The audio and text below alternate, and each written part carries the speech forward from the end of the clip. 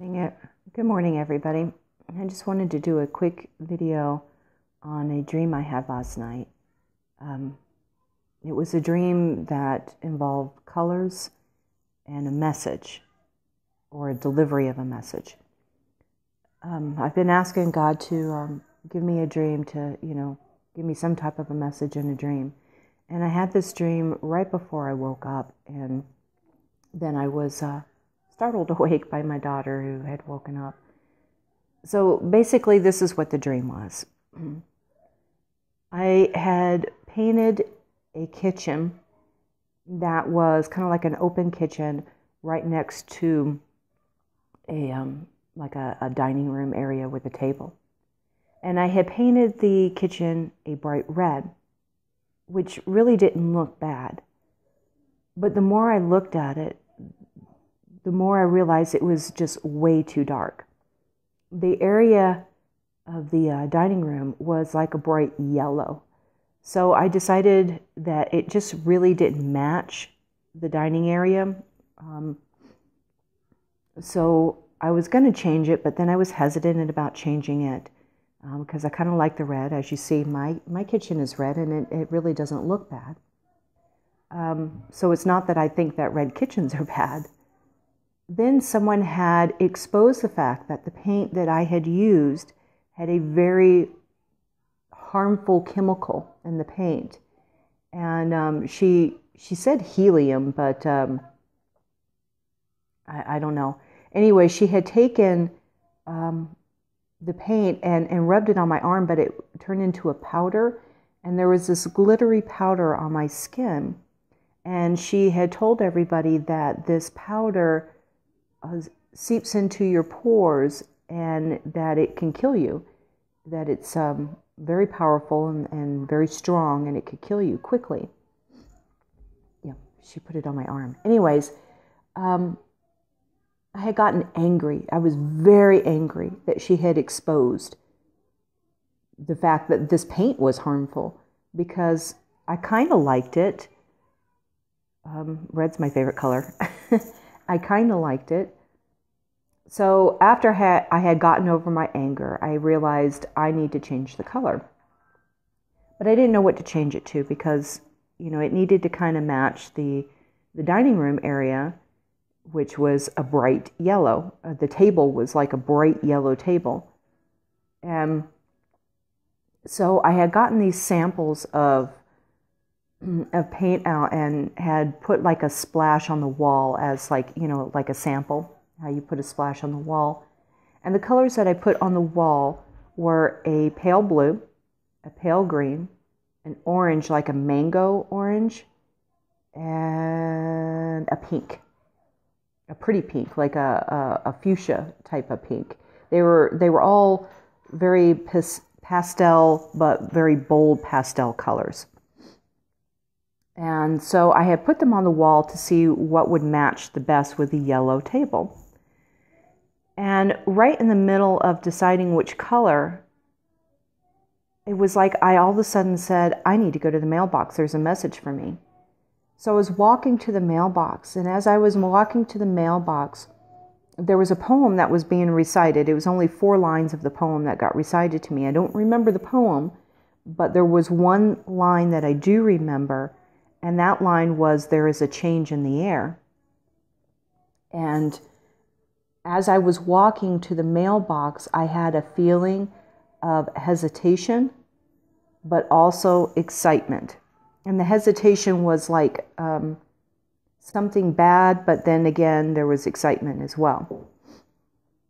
So, with the colors, and this is what I feel, and please feel free to comment.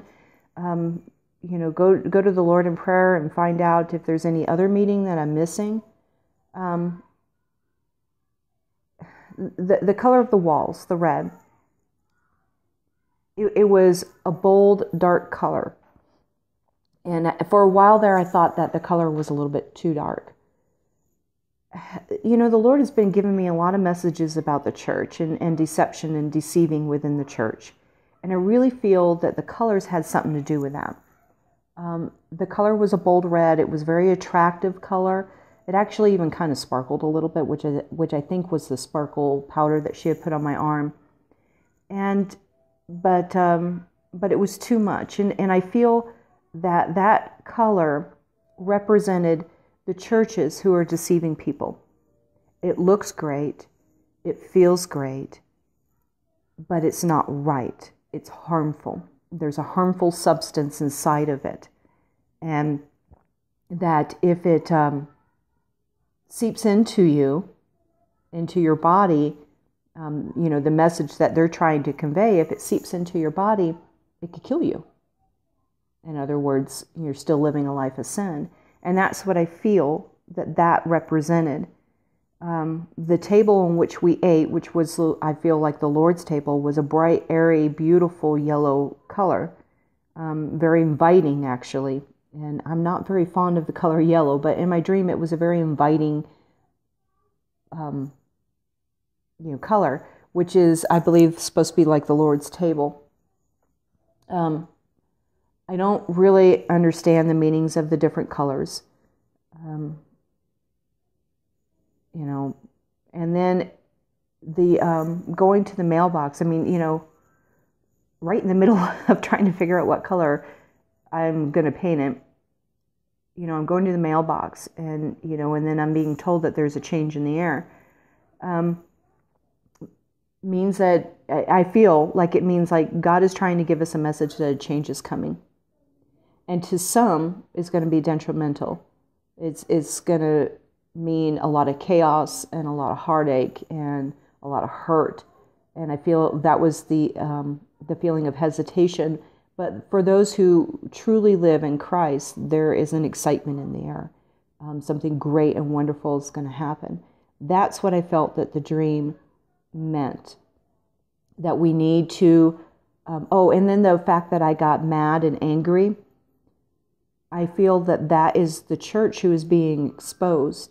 That you know they they enjoy the church that they're going to, and they get mad and they get angry at people who expose the deception and the deceiving and the lies within the church, and that it's not a true church. Um, that's why I feel out of that you know, I personally know people who are going to churches, and, you know, I've had people tell me, well, I feel like there's something just not right. Um, I just can't seem to get involved. I just can't seem to enjoy it. But, you know, they have something for my kids there, and, and my kids really like it.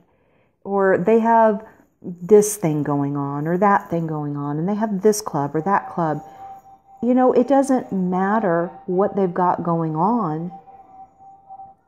It's the message that they're sending. And if you feel like there's just something not right, then there's something not right. And you need to go find another church. You know, it, there's no coincidence that God keeps giving me these messages about churches and the, the, the deception in the church. You know, there's a change going to happen, a change is in the air and is coming soon.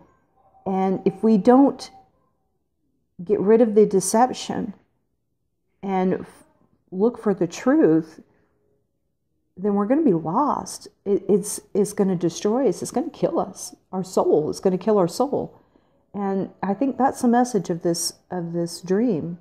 If you feel anything else, please let me know. I'm, you know, I, I definitely want to hear from you guys and what you think as well, or what the Holy Spirit, you know, puts upon you about this dream. Um, please comment, please share, please like this channel, and uh, visit me on Facebook, uh, Yet He Saves on Facebook, and visit me on Google Plus, Yet He Saves. God bless you all. I hope you have a wonderful Christmas, and just remember that Jesus is the reason for this season. God bless you.